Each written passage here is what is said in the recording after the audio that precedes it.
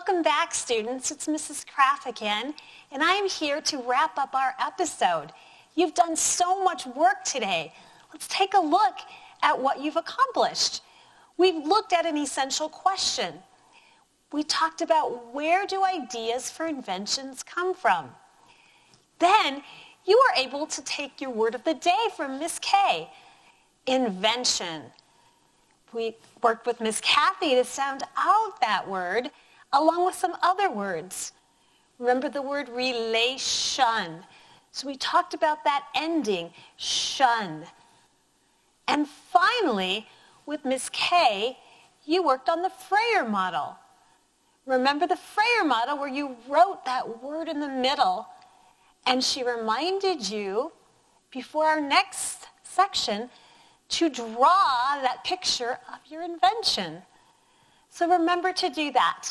In our next episode, we are going to talk about ways to create a writing journal, which we will continue to use during our classroom time. So please work on that, and we're going to talk about some more inventions the next time Ms. Kay, Ms. Kathy, and myself are able to see you. So thank you for joining us at this episode of At Home with APS, and we look forward to seeing you the next time as we create those writing journals together and work on some of those writing skills that I know you have in those creative brains of yours.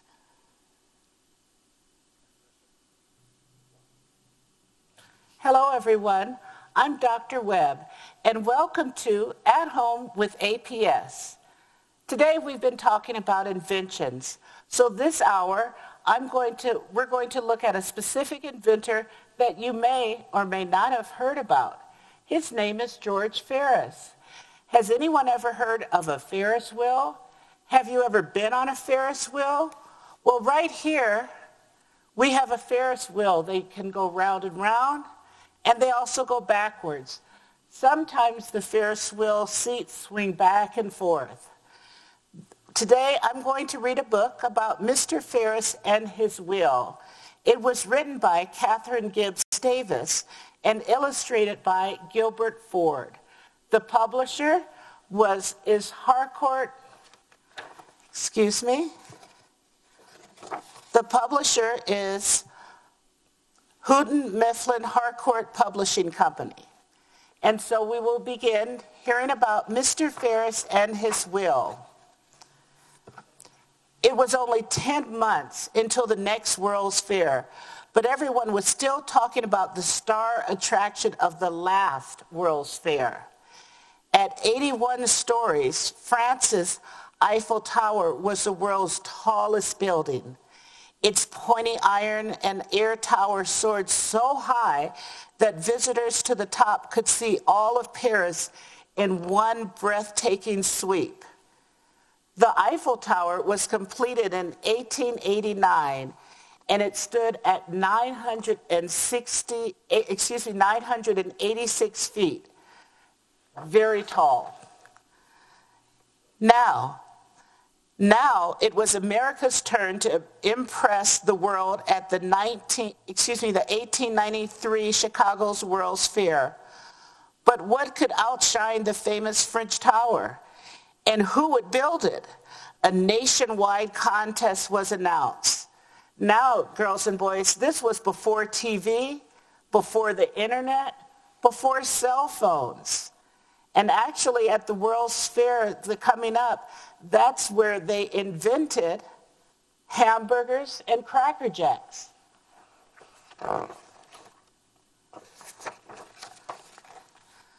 To make to an ambitious young civil engineer, this contest was more than a dare. It was a matter of national pride. George Washington Gale Ferris Jr. had already designed some of the country's biggest bridges tunnels and roads. He could never allow a French tower to overshadow the America's World's Fair. Why had the United States built the world's first skyscraper?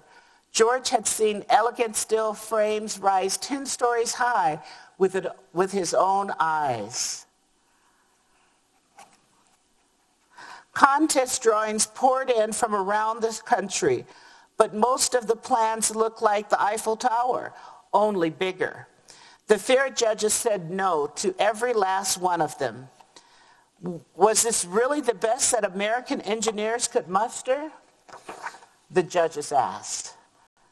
George had an idea, an idea for a structure that would dazzle and more not just stand like the Eiffel Tower. Back at his drawing board in Pittsburgh, he and his engineering partner, William Greenough, measured and remeasured. A mistake of even an inch could bring their invention crashing down. So there they are at their drafting table, drawing. It looks like it almost might be, it looks like a circle. Maybe they're starting to draw the Ferris wheel. George arrived in Chicago and made his case to the construction chief of the fair. The chief stared at George's drawings. No one had ever created a fair attraction that huge, that complicated. The chief told George that his structure was so flimsy it would collapse. George had heard enough. He rolled up his drawing papers and said, you are an architect, sir. I am an engineer. George knew something the chief did not. His invention would be delicate looking and strong. It would be both stronger and lighter than the Eiffel Tower because it would be built with an amazing new metal, steel. George was a steel expert and his structure would be made of steel alloy The judges could not decide. Fall turned to winter as they dilly-dallied. Dilly-dallied means they fooled around. They hadn't made a decision yet. In only four months, the, judge, the fair would open, and it still had no star attraction. What do you think they're going to do? Finally, desperate, they agreed to have George's far-fetched idea uh, give it a try but they would not give up one penny for the materials to build it. The clock was ticking. George dashed from bank to bank asking for help. But when he began describing his invention, lenders laughed at him into this, just laughed him into the street. So George used his own savings and convinced a few wealthy investors to join him. Still short of money, he so boldly went ahead and ordered the parts he needed from a dozen different steel mills. Now, have you ever had an idea and people thought, told you, oh, that's not a good idea. Oh, you could never do that. Well, they told George Ferris the same thing, but he decided to persevere. He persisted and he continued. He did not allow what others say stop him from going forward. In January 1893, George's construction crew began work on the foundation. Shovels broke as the workers tried digging into the frozen ground. It was winter, you know. It was one of the most brutal, brutally cold winters in Chicago's history. Blast! George ordered his crew to dynamite the icy earth. But what they found underneath was scarier still. What do you think they found? Quicksand. The deadly murk could suck a man or a machine under in seconds. The frost at the wheel site was three feet deep. The quicksand was 30 feet in depth and saturated with water. So they had three feet of ice and 20 feet of quicksand. And they kept pumps running all day and night to keep the water and the live steam that they had to use to break the sand and the stone. It was a tough job. George and his brave workers frantically digging, Finally, 35 feet down, they hit solid ground. They didn't stop on their dream.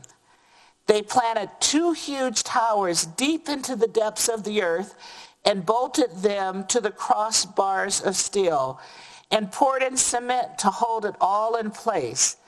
Then carefully, they lowered a 70-ton axle with fittings, the weight of the mogul locomotion train between them.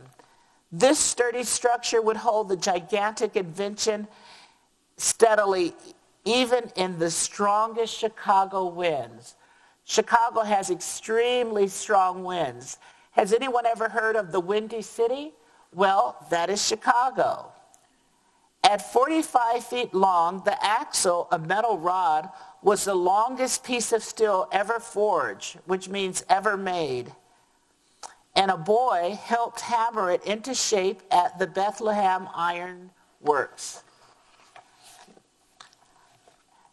People began to come around and look at it. As the time grew shorter, freight trains from all over the country chugged onto the fairgrounds, loaded with more than 100,000 parts. Workers hurried to fit all the pieces together like a giant Lego. Kind of like this Ferris wheel. Looks like it's made out of Lego pieces. Responsible for the wheel's many structural details, George's partner was losing hope. And they had crowds. People came and watched. And you could hit right down on the bottom it says, one person says, it's undignified. Another says, oh, stand back, dear. It might collapse. A woman says, bet you the wind will blow Ferris's folly into the lake. Nope, I'll fall, it'll fall first. It's going up way too far. They say Ferris Wills has his will in his head. They weren't very kind. Now, Ferris's partner, William Greenough, said, frequently I was discouraged and ready to give up. But through the encouragement of Mr. Ferris, work was always resumed. Have you ever wanted to give up on something you started? Please don't. Keep trying and working at it. This is what Mr. Ferris will, which makes us all able to ride a Ferris wheel. Well, almost all. Ferris wheels are not something I like to go in. They're up far, far too high for me. Now, finally, with only two months left, the last section was bolted into place. There stood a perfect, enormous circle, 834 feet in circumference, rising 265 feet above the ground and designed to move in precision with the smallest watch.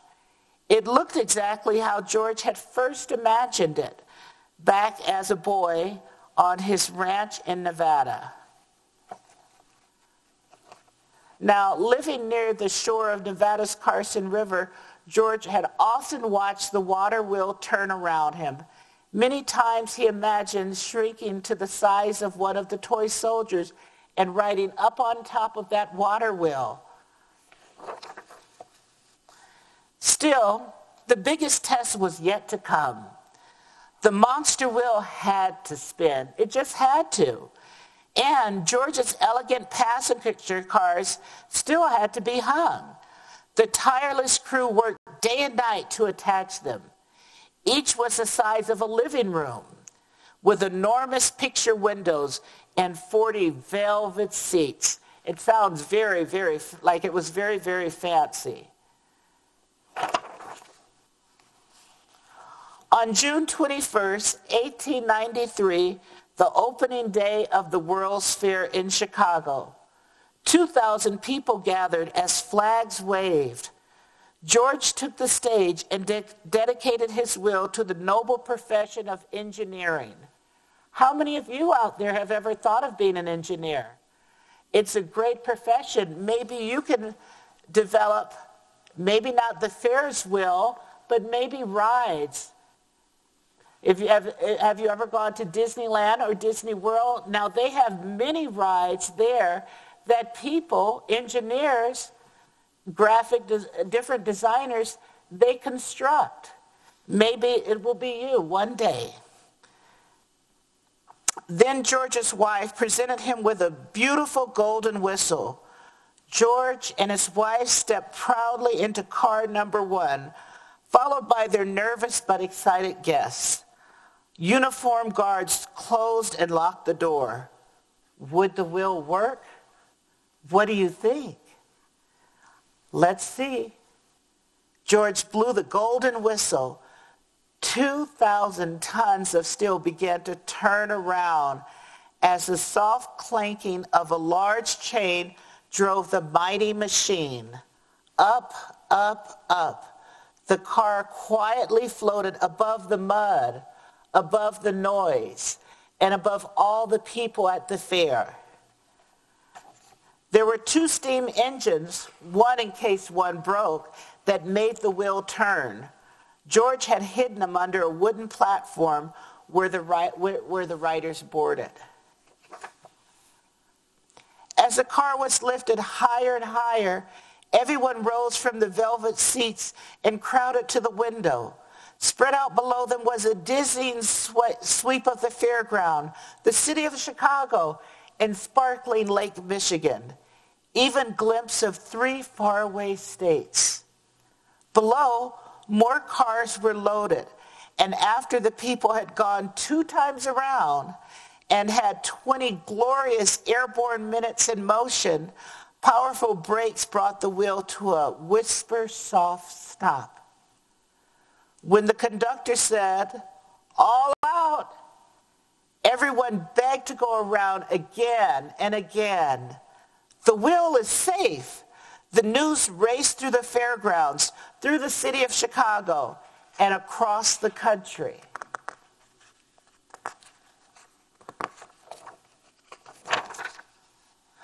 All summer, visitors from around the world traveled to Chicago's World's Fair.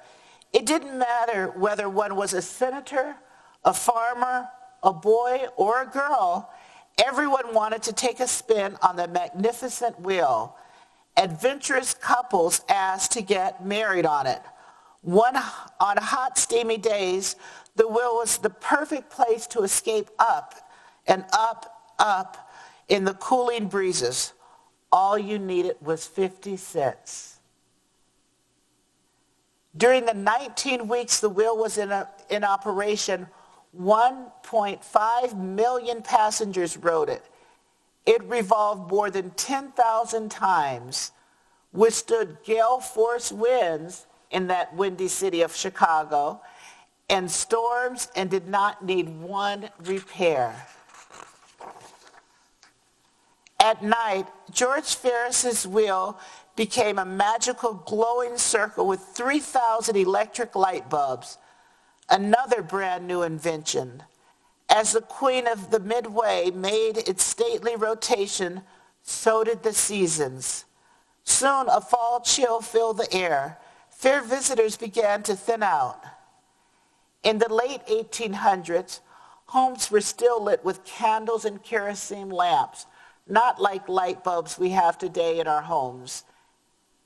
The Chicago's World's Fair helped reassure people that electricity was safe. At night, farmers and sailors from as far away as 40 miles could see the wheel's spectacular blaze of lights.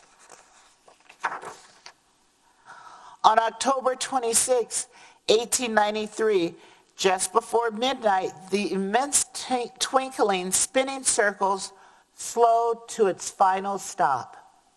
The, the Chicago's World's Fair was over.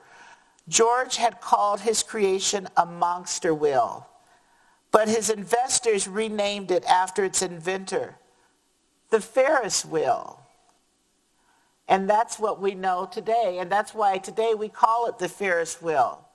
Now, how many of you have ever been on a Ferris wheel?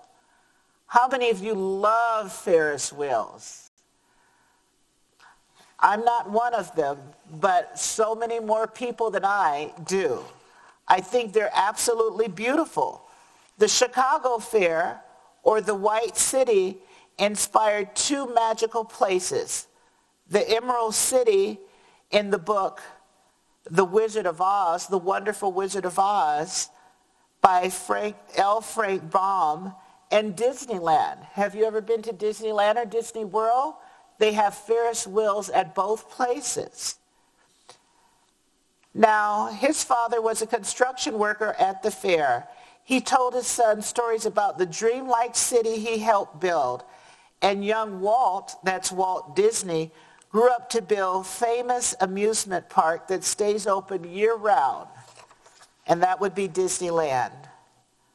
Visitors return to their home to tell the story of the world's greatest ride and long before copies of the Ferris wheel began popping up around the world, in 1894, the next Ferris wheel appeared in California on a cliff overlooking the Pacific Ocean, lit up at night.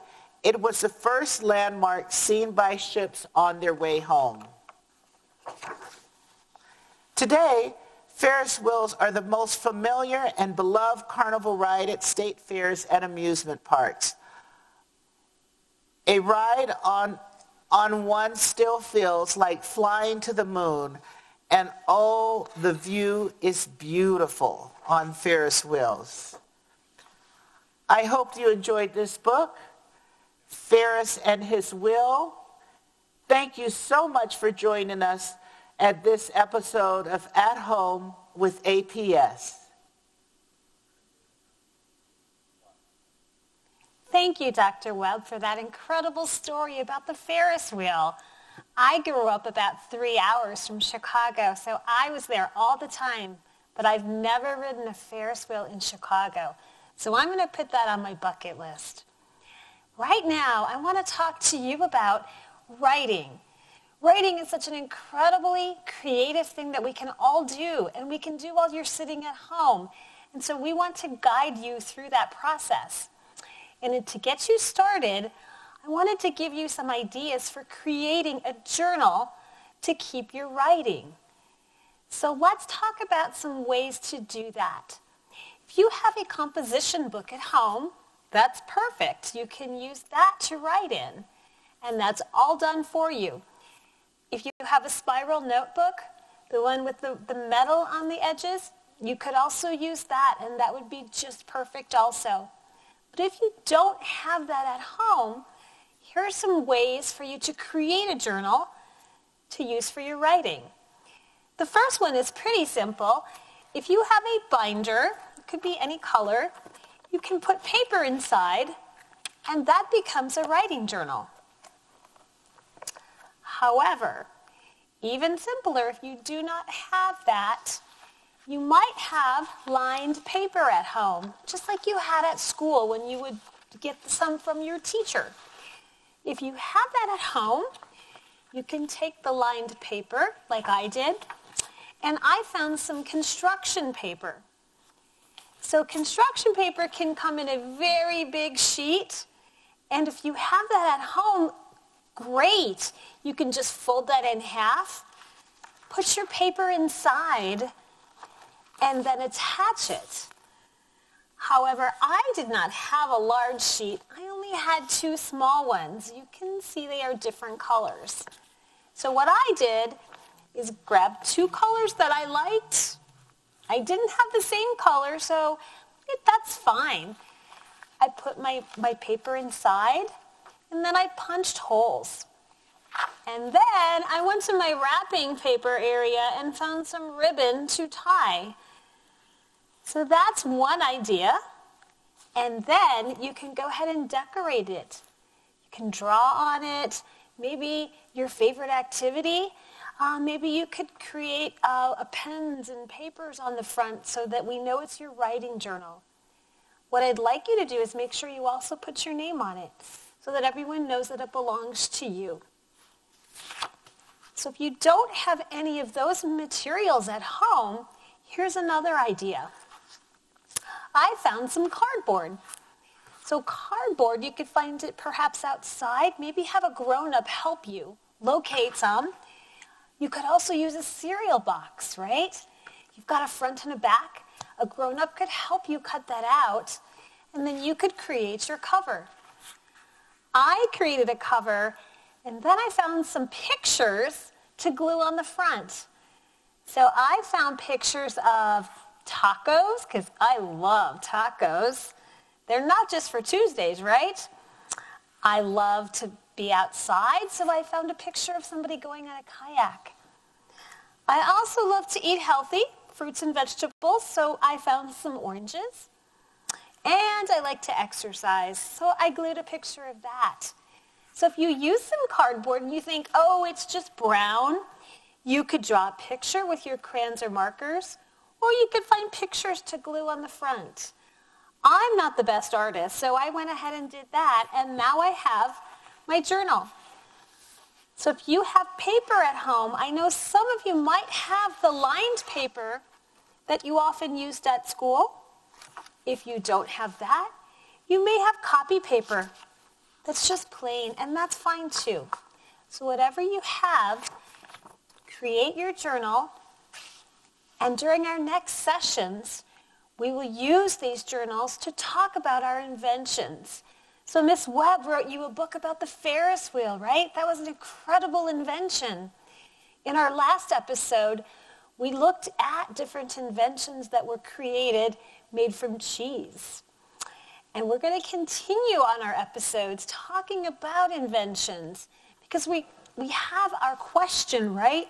Our essential question is thinking about ideas and how we can transfer those ideas into actual creations. So thank you, boys and girls. Miss Jacobson is now going to come up and talk to you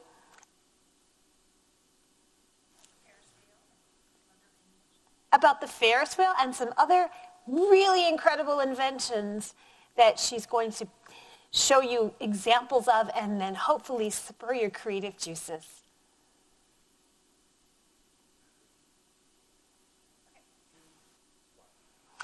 Hi, everybody. It's Miss Jacobson again for our last 30 minutes of our first day of filming here at home with APS. And I hope you enjoyed the book, uh, Mr. Ferris and His Wheel. I found this at a bookstore here in Albuquerque and bought it because I absolutely love Ferris wheels. Um, I've been on several of them around the country and even some overseas when I've traveled. And I've never been on a huge, huge one, but I have been on the replacement Ferris wheel that is now in Chicago. And that particular Ferris wheel is one of the oldest Ferris wheels in America. Not the oldest, but one of the oldest. It celebrated its 106th birthday, I believe, this last year. And it's an awful lot of fun. It's at Navy Pier in Chicago. And I have family that lives there. So when um, we go, oftentimes we will go and uh, and visit that Ferris wheel. But I wanted to talk to you a little bit about inventions and the engineering and the science that goes along with building these kinds of things. An inventor, as we heard earlier today, is a person who is trying to make something that's never been made before. And while sometimes those inventors are scientists and sometimes they are mathematicians or architects, sometimes they are mechanical engineers. And they are trained so that they can figure out how metal fits together, how much weight it can hold, um, maybe how heavy a wooden structure is going to be, um, what kind of temperature melts certain materials. So they have to know a lot of math and they have to know a lot of science and they have to learn how things work. Now, in Mr. Ferris and his wheel, they were talking about this type of Ferris wheel, the model that I have here. This is made out of K'NEX blocks. And I made this, uh, somebody, a friend gave me this kit for this Ferris wheel because I saw one at a school that I visited when I was first starting to get my degree to be a principal and I was a principal at Tierra Antigua Elementary. So hi Tierra Antigua Firebirds if you're out there watching today. So the Ferris wheels that I've been familiar with, they have these spokes, kind of like a bicycle wheel would have. Um, and they help keep the outer frame of the Ferris wheel steady and they are certain length to support the outside of the Ferris wheel. And then they also have to support these little cars that people would sit in. Now, if you've been to the New Mexico State Fair here in Albuquerque, or any state fair around the United States, you're going to see this type of Ferris wheel a lot of the time, where the, the little cars are in the open air. When the Ferris wheel turns around, you, they, they kind of swing down a little bit. You feel the, the wind blowing in your hair. Um, sometimes they go a little fast. Sometimes they go forward. Sometimes they go backward, just like Dr. Webb had said when she was reading the book. But now there are new engineering designs where Ferris wheels do not have center spokes. All of the outside is connected by wire. And the cars, instead of being these little, look, they look like park benches, they are actual rooms with glass surrounding the outside, kind of like a capsule, like a space capsule almost. And some of them even fit as many as 28 people inside. You don't sit down, you can walk around, and you can see the whole city where that Ferris wheel has been built. There are several cities in the world that have those. Now, I was pulling up some information um, on my computer about Ferris wheels, and it turns out that the biggest one in the world was completed in 2014 any ideas where it might be? What do you think? And some of you may have been here. It's actually in Las Vegas, Nevada. It's called the High Roller, and it is 550 feet in height. Now, Mr. Ferris's wheel, when he first built the original Ferris wheel in 1893, his Ferris wheel was 264 feet in height. So almost half of the size now of the world's largest Ferris wheel. I think that's incredible. So if we were to imagine that this is the high roller in Las Vegas, Mr. Ferris's wheel would only come up to about right here. So imagine that, you know, in terms of how high that large Ferris wheel is. Now, the largest Ferris wheel that I've ever been on is called the London Eye, and it's in London, England, and it's 443 feet high. And it also has the cars where you go, can go and sit inside and walk around, and about 15 people can go inside one of those cars, and you get to see the whole city when you're up there, and it's fun to see it at night.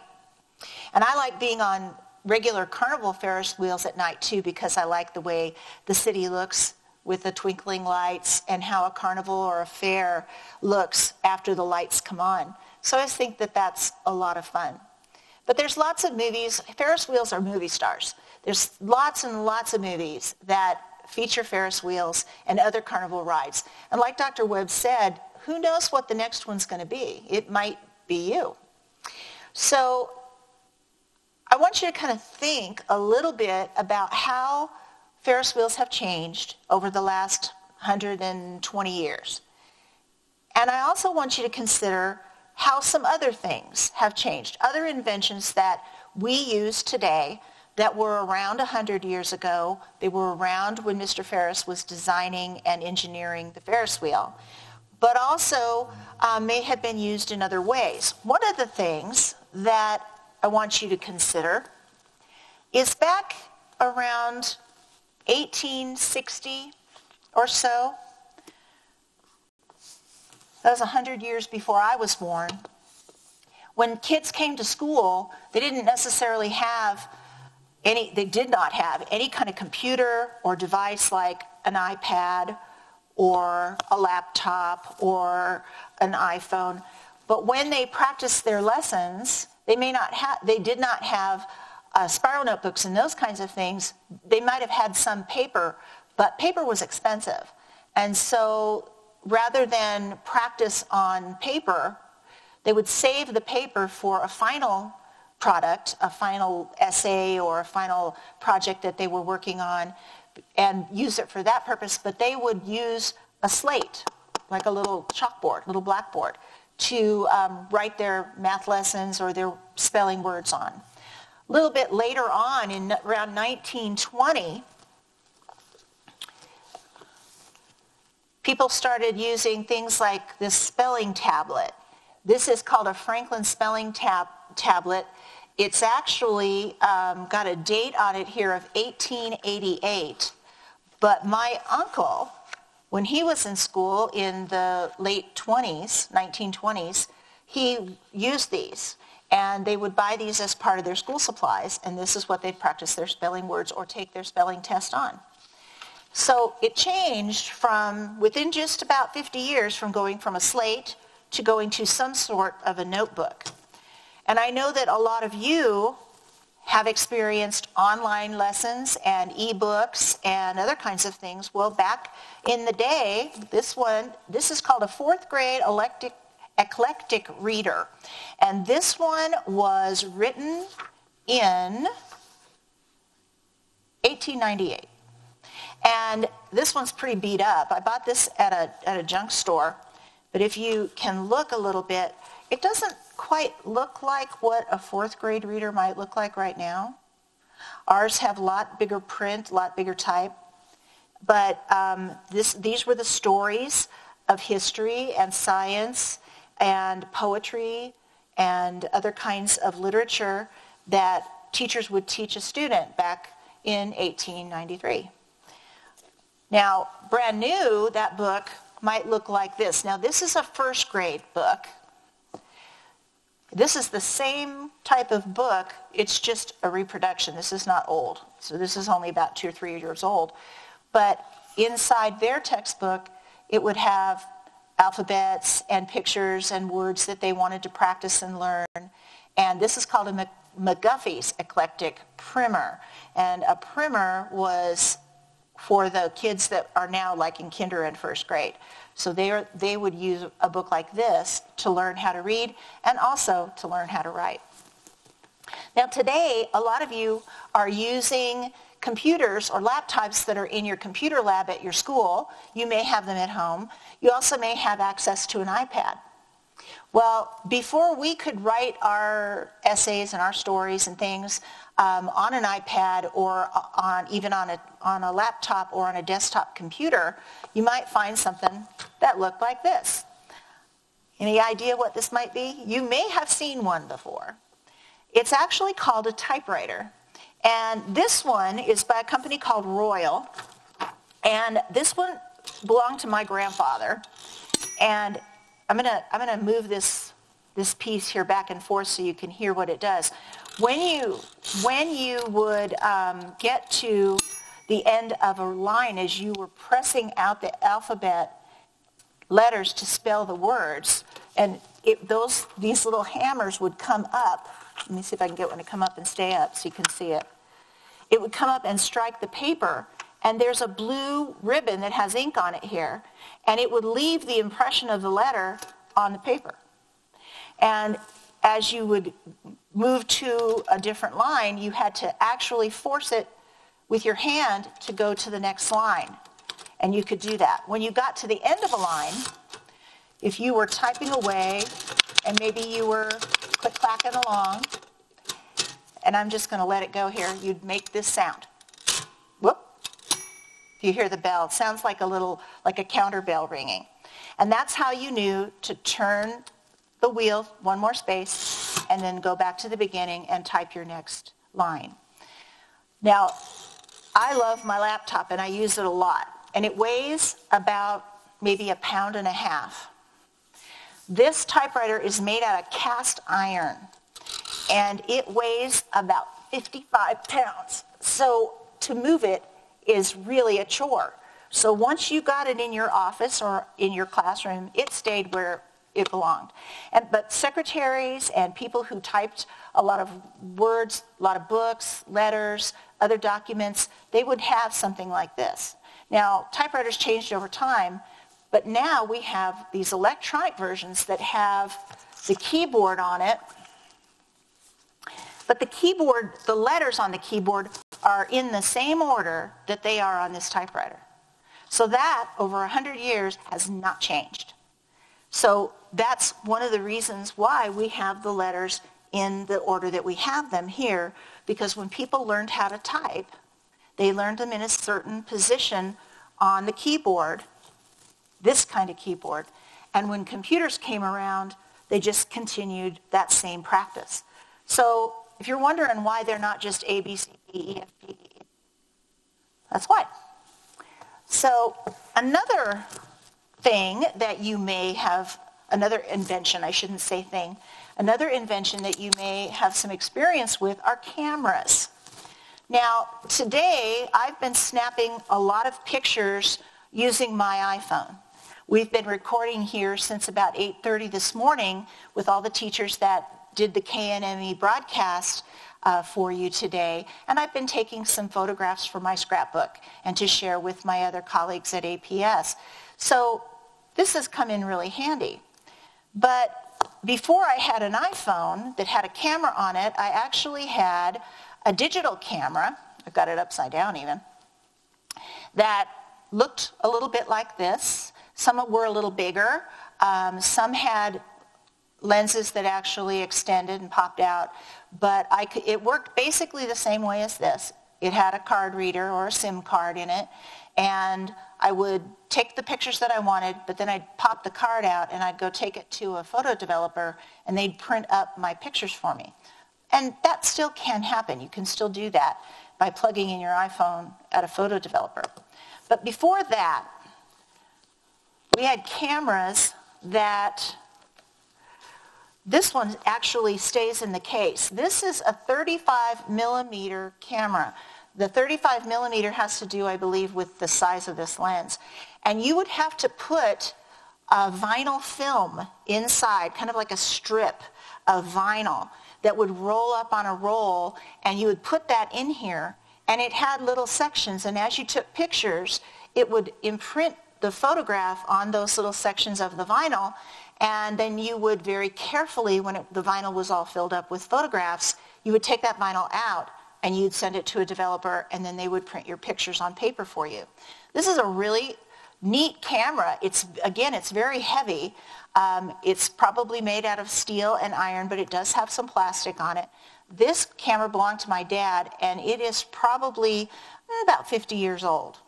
So cameras have changed even over the years. And there are older cameras that look like this. The first real pictures that anybody ever took were during the American Civil War, during battles. And there were some people, um, men, Mr. Kodak and Mr. Eastman, who developed um, how to take photographs and how to put them on film and print pictures. And um, their cameras were probably bigger than this Ferris wheel, and they stood on large stands. So this one was considered back in 1950, when my dad probably got it, this camera was considered very modern. There's lots and lots of other things that we can show you. This is my favorite, though, and I have to tell you that I, I when I first saw this, I had no idea what this was. This belonged to my grandmother. Can you, maybe you've seen something like this? You have any idea what it might be? Well, I'm going to give you a hint. You would put bread in here. Does that answer any questions for you? Yeah, it's a toaster. This toaster is 1922 toaster, and it toasts two pieces of bread. You put the bread in here, you flip it closed, and it would have had an electric cord that you plugged in, and it toasted one side of the bread, and then you would have to turn it around to toast the other side of the bread. And there's another cage on the other side just like it. So you would toast one side of the bread, and then you would toast another. And now we have the pop-up toasters um, that you use probably a lot for breakfast and other times of the day when you're eating. So things that people have made like this have been designed by engineers and are used for lots and lots of different purposes. I've been collecting old things like this for many years, and we talked this morning about collections with the younger students, and we talked about starting a rock collection or a shell collection or a button collection, or when you go out on your walks when you're trying to get some air and exercise during the school closures, that you could collect leaves or seed pods or any number of things. Some people collect comic books, or they collect cartoons, um, or they collect Star Wars memorabilia. All kinds of things that would make great collections. My collections are old things. Things like this wooden box. This is what cheese used to come in. Now, when you buy cheese at the grocery store, you buy it in a bag or in a plastic container. And in the old days, it came in foil inside a wooden box like this. So over the years, they've learned how to do new things, how to take care of different kinds of, of products, make them last longer, make them more affordable, make them more usable for people. And some of these items that we see here today have made that happen. So while we are in this closure time, I really hope that you will think a little bit about, number one, if you could invent something, what would it be? If you could solve any problem in the world or create some sort of wonderful machine or device that did amazing things, what would it be? And that journal that you made with Mrs. Kraft a few minutes ago could be the first place that you start to write that story.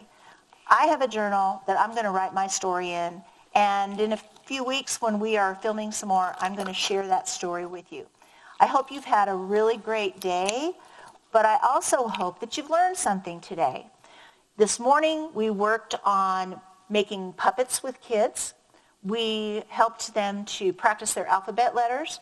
So if you have a younger brother or a younger sister, then um, this might be a really good time for you to help them to make sure that when they come back to school, they know all of their alphabet letters and all of their um, sounds and maybe even some words that you can practice with them. We've talked about looking at pictures and trying to figure out what's happening in a photograph. For students that are learning how to read or write, that's a really important strategy to use. And you, as a fourth grader or fifth grader, um, are getting really good at that at this point in your life. And so being able to write in a journal and to start some creative stories, that's a good way for this to happen. And you can write it down, you can type it, you can put it on an iPad or an iPhone, and then you can share it with us. So I hope you've had a really good time. We have one more activity today before we say goodbye. And um, we're going to ask Mrs. K to come up, and we're going to talk a little bit about how to be mindful and how to calm yourself down when you need to, especially when you're hearing things on the news that might be a little hard to understand. So we will see you tomorrow, and I'm going to turn it over to Mrs. K now. Thanks, everybody. Thanks for joining us today. Hello, everyone. I'm Mrs. K. Um, you might recognize me because maybe I've been out to your school before, or perhaps you watched the lesson I did earlier with our vocabulary words. Or maybe, if you're a little bit older, you were even one of my students a long time ago. Before we sign off for the day, I want to just talk to you a little bit about how we might be feeling right now. Things right now are kind of weird they're different. We're not going to school like we normally did. We're probably not doing some of the activities that we typically do. Um, and that can make us feel a lot of really, oh, sorry, a lot of really strong emotions. I know for me, um, this time when my life isn't like it normally is, it makes me feel anxious. Anxious is sort of a different word for being nervous or worried. Maybe you might be feeling anxious or maybe frustrated or sad or angry or maybe excited. Maybe a lot of good things are happening for you right now. These emotions are totally natural. We're humans. And part of being a human being is having feelings and emotions. And that's okay. But sometimes those feelings can feel too big. They can prevent us from focusing at school, or they can make it hard to do some of the things we enjoy. Sometimes those really big emotions are uncomfortable. So, also as humans, we need to think about ways that we can develop some tools to help us cope with those emotions. That's a big word, cope. Um, when I'm thinking of coping strategies, I'm thinking of ways that I can help myself calm down so that I can focus and learn and feel okay. So today we talked about a lot of inventors and how they made tools to help them solve a problem. Let's talk about some tools you can use to help you solve some of the problems maybe you're feeling with your emotions right now. I know that when I get really frustrated or really anxious, I have a hard time breathing. I start breathing fast, my heart rate gets faster, and it's hard for me to focus. So let me show you something that you can do at home um, if you're feeling a really intense or a big emotion. It's called five finger breathing. All you need for this are your lungs and your hands. I think you've got all those things. We're ready to go. What I want you to do is hold up one hand and then use your pointer finger from another hand or the other hand. And you're going to use this finger to trace your hand like this. The key is we want to go super slow. Now, while we're tracing our finger, we're focusing on our breathing. So when I'm going up one finger, I'm breathing in. I'm inhaling. And when I go down, I'm exhaling. I'm breathing out. Inhale, breathe in. Exhale, breathe out. Can you do the last three fingers with me?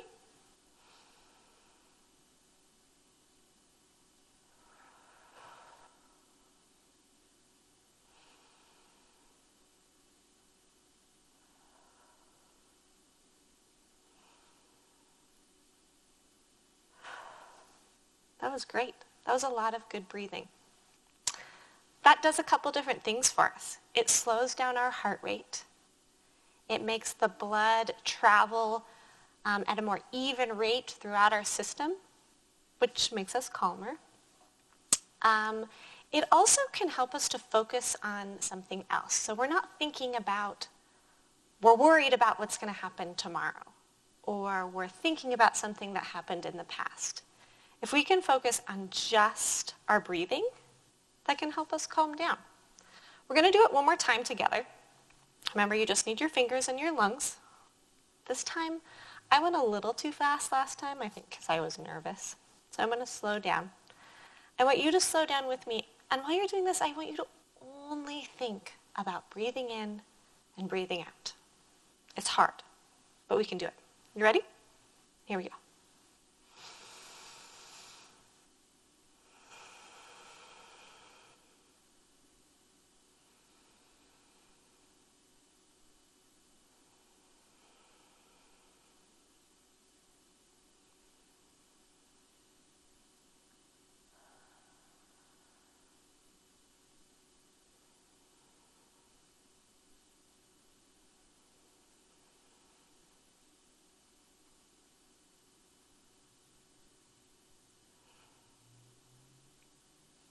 Good job. I really like using this when I'm at school because I can just put my hands under my desk and do five finger breathing and nobody even knows I'm doing it. This is something you can use at home. When we go back to school, this is something you can use at school. But what I would like to challenge you to do is to teach this skill to someone else. Somebody else might need to practice mindfulness and to practice calming down, their breathing, and their thoughts. I encourage you to teach this skill to a grown-up in your home, or maybe a brother or sister. Or maybe you can call a friend on the phone, and you can tell them how to do this over the phone. Before we go, let's talk about a few other things that you can do if those big emotions are feeling too intense for you.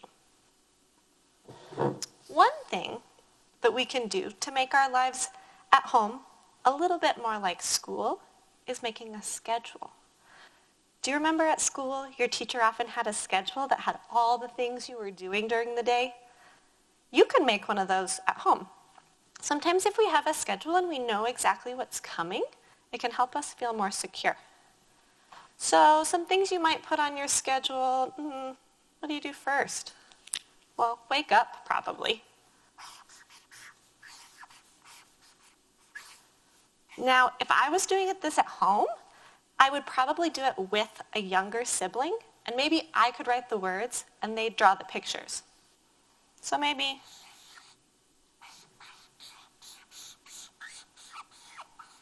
maybe you could work on this together as a family. I want you to think about some other things that you could add to your list. What would you do after you wake up, maybe? Maybe eat breakfast?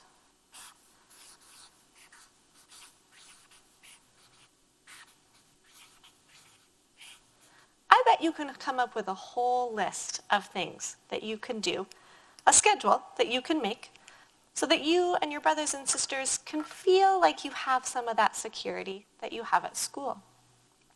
One thing that I hope you put on your schedule is watching us every day.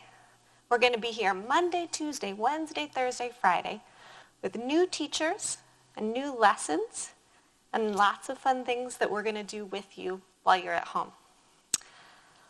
One last thing that you might think about doing is thinking about how you can help someone else.